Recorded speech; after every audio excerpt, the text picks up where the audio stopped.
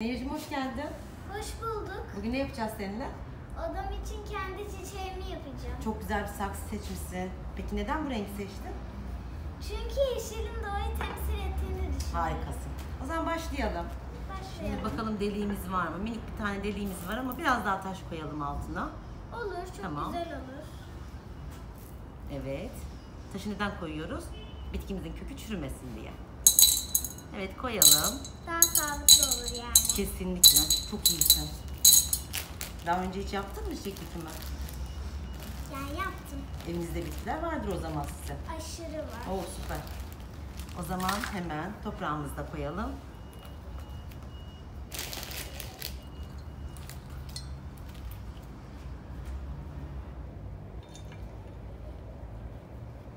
Bir avuçtan koyalım. Evin en güzel yerine koyacaksın ama. Değil mi? Evet. Benim odam güneş alıyor ama Aa, camın, daha, daha önü, güzel. Ne güzel işte. camın önü biraz sıkıntılı. Oraya bir Çok mu güneş saksı- geliyor? Yani güneş de geliyor. Her şey var orada. Hı hı. Ama yer yok.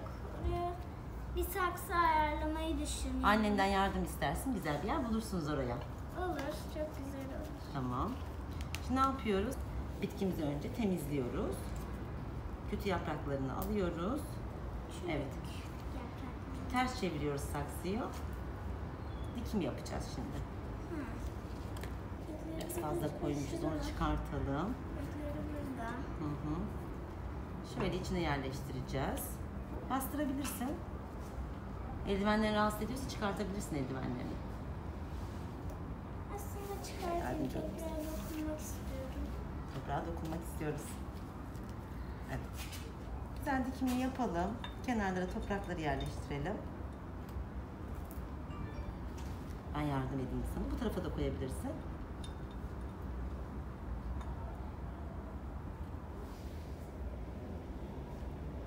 Evet. Biraz bastıralım.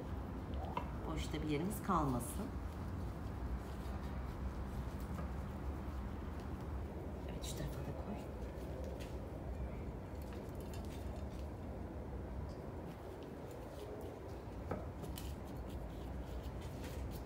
Evet bakalım sağlam mı?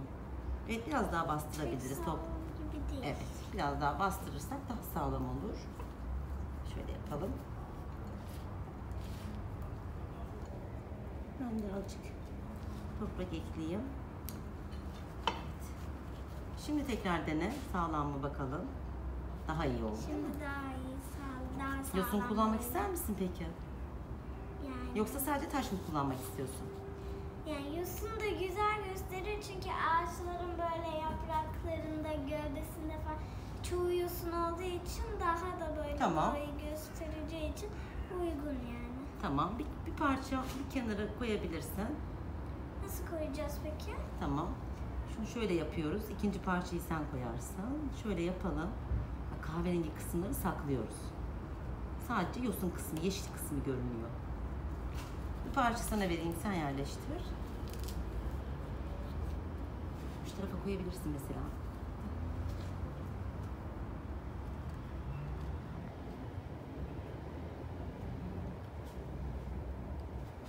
Şunu toplayalım. Evet.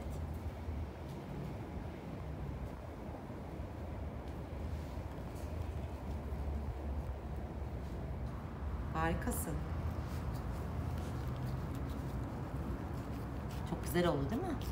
Evet. Neden beyaz seçtik? Saksımızın rengine uyumlu diye mi? Yani böyle toprağın daha sağlıklı, bitkinin böyle daha sağlıklı, daha uzun ömrü olması için seçtik. Evet, biraz daha güzel görünsün diye. Bir miktarda beyaz taş atıyoruz değil mi? Evet. Evet.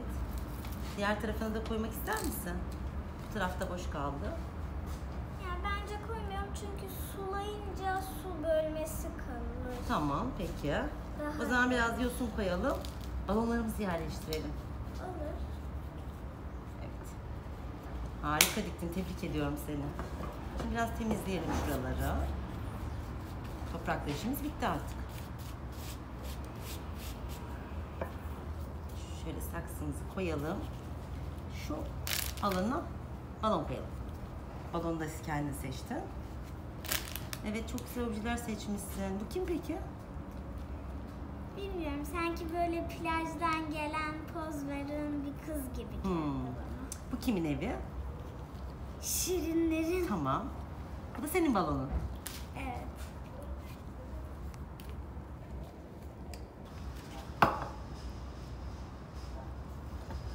Evet harika oldu beğendin mi? Kendi yaptığın tasarımı. Evet. Peki bana bunu anlatır mısın? Önce ne yaptık?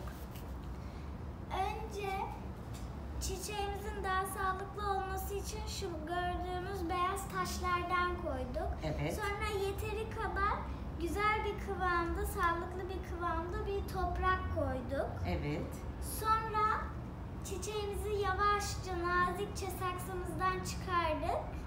Sonra toprağımıza koyduk. Kenarlarına eklemeler yaptık. Ondan sonra biraz küçük parçacıklar olarak biraz yosun koyduk. Bazı kenarlarında da yine en altta kullandığımız beyaz taşlardan koyduk. Evet. Sonra aralara beyaz balonlar koyduk. Buraya bir tane kız koyduk. Buraya da bir tane şirin evi koyduk. Çok güzel Harika oldu. yaptın. Ellerine sağlık. Çok beğendim. Peki bunun bakımı nasıl olacak? Şimdi şöyle yapacağız. Toprağına dokunacağız. Azıcık nemli olması gerekiyor. Çok fazla su vermiyoruz asla. Az da su vermiyoruz. 15 günde bir e, bir çay bardağı kadar sadece toprak kısmına su vereceğiz. Sonra bunu güneş alan bir yere koyacağız. Bakımlarını düzgün bir şekilde yaparsak bu seninle beraber büyür. Anladım. 15 günde bir su yeterli kadar güneş alacak Evet. kadar. Tebrik ediyorum seni. Teşekkür ediyorum katıldığın için. Çok keyif aldım ben. Ben de çok keyif aldım.